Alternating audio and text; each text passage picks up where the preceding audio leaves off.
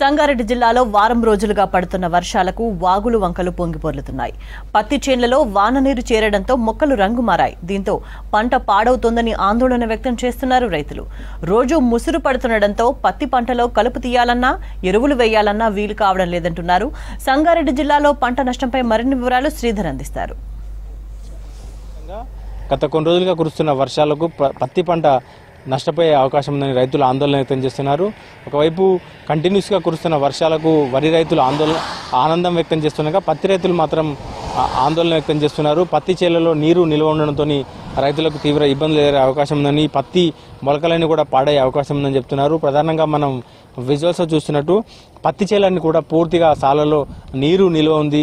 దీంతో రైతు అయితే పత్తి మొలకలన్నీ కూడా కుళ్ళిపోయే అవకాశం ఉందని ఆందోళన వ్యక్తం చేస్తున్నారు. రైతులు ఏదైతే సంగారెడ్డి జిల్లాలో ప్రధానంగా పత్తి ఎక్కువ సాగవుతుంది మొత్తం జిల్లాలో దాదాపు ఏడున్నర లక్షలకు ఏడు ఏడు లక్షలకు పైగా ఎకరాల్లో పంటలు సాగవుతుండగా దీంట్లో మూడున్నర లక్షలకు పైగా అంటే సగానికంటే ఎక్కువ కూడా పత్తి సాగవుతుందని కూడా అధికారులు అంచనా వేస్తున్నారు. మిగతా సగంలో వరి కావచ్చు ఇతర మిల్లెట్స్ కావచ్చు ఇతర పంటలు సాగు చేస్తుండగా ప్రధానంగా పత్తి సాగు మాత్రం జిల్లాలో ఎక్కువగా సాగుతుంటుంది. పత్తి రైతులు ఎక్కువగా ఉంటారు. చాలా వరకు కౌలు రైతులు కూడా ఉంటారు. వీరందరూ కూడా ఏదైతే వ్యవసాయ పొలాల్లో కౌలు తీసుకొని ఇటు పత్తి వేస్తుంటారు. ఈ పత్తి ఈ పత్తికి ఈ సీజన్ ప్రారంభంలో కొంత వర్షాలు ముఖం చాటేయడంతో వేసిన మొలకలు వేసినప్పటికీ విత్తనాలు వేసినప్పటికీ మొలకలు రాలేదు. మరోవైపు వర్షాల కోసం ఎదురు చూస్తున్న నేపథ్యంలో గత వారం రోజులుగా కురుస్తున్న వర్షాలకు ఆనందం వ్యక్తం చేసే లోపే కంటిన్యూస్గా వర్షాలు పడుతుండడం మరోవైపు ఆందోళన వ్యక్తం చేస్తున్నారు. పత్తి చేలలో నీరు నిలవడంతో వైపు కలుపు తీయడం కావచ్చు అయితే వీటికి సంబంధించిన ఎరువులు వేసుకోవడం కావచ్చు పూర్తిగా పనులు సాగని పరిస్థితి నెలకొందంటూ కూడా చెప్తున్నారు. దీంతో పత్తి చేలు ఆకులు పూర్తిగా పచ్చబడిపోయి ఎర్రబడిపోయి పూర్తిగా కుళ్ళిపోయే అవకాశం ఉందంటున్నారు. ఇప్పటికే మనం విజువల్స్ చూస్తున్నట్టు చాలా వరకు పత్తి ఆకులు కూడా పూర్తిగా మాడిపోతున్నటువంటి పరిస్థితి ఎల్లో కలర్లోకి మారిపోయి పూర్తిగా కుళ్ళిపోతున్నట్టు అంటే వేరు కుళ్ళు తెగులు కూడా వస్తాయంటూ కూడా అధికారులు శాస్త్రవేత్తలు చెప్తున్నారు. మరోవైపు క్షేత్రస్థాయిలో అధికారులు ఇంకా పర్యటించలేదు. ఇప్పటివరకు కూడా ఏ రైతు పొలంలో కూడా క్షేత్రస్థాయిలో పర్యటనలు జరగడం లేదు. దీంతో రైతులకు సూచనలు ఇవ్వడంలో పూర్తిగా అధికారులు విఫలమవుతున్నారు.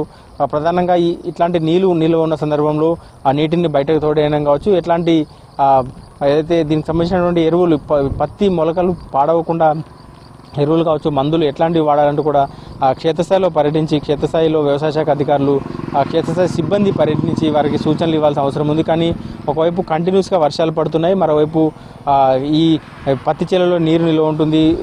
రైతులకు ఏం చేయాలో పాలుపోలేని పరిస్థితి.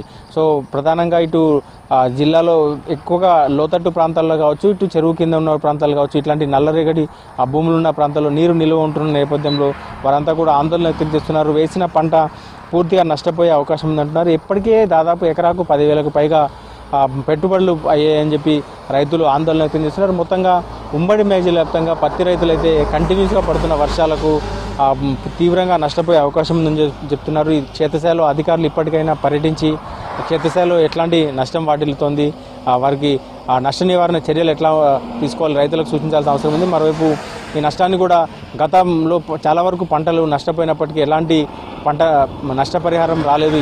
ఈసారైనా క్షేత్రస్థాయిలో అధికారులు పర్యటించి పక్కాగా లెక్కలు తీయాలని కూడా వారు రైతులు సూచిస్తున్నటువంటి పరిస్థితి. మొత్తంగా ఉమ్మడి మేజీ వ్యాప్తంగా కంటిన్యూస్గా కురుస్తున్న వర్షాలకు పత్తి రైతులు అయితే ఆందోళన వ్యక్తం చేస్తున్నారు.